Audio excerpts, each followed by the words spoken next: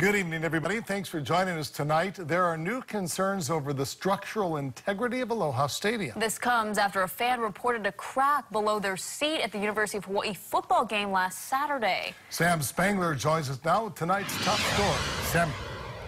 Dash, a Rainbow Warrior fan was sitting in the orange section of the stadium when he noticed a large crack below his seat and a piece of rust dislodged.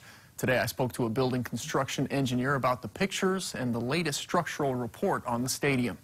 These pictures were taken Saturday night as the Rainbow Warrior football team hosted Fresno State. National building expert Lance Luke wasn't overly concerned about the crack, but is about January's corrosion report on the stadium. So much so, he says he would not attend an event there. No, I wouldn't. It's kind of scary unless uh, sections are blocked off the stadium is made of steel, which has rusted over since it opened back in 1975. I think the general public would, if they don't understand engineering terms or how to read the report, just go back and look at the photos. Those photos are very alarming to me.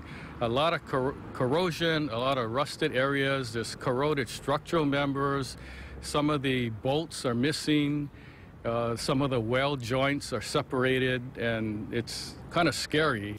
Aloha Stadium released this statement in response to the pictures. As a 44-year-old facility, the stadium is showing its age, but we continue to proactively discover and address health and safety-related concerns. We do this through the guidance of a licensed forensic structural engineering firm that performs structural safety inspections and evaluations for the stadium.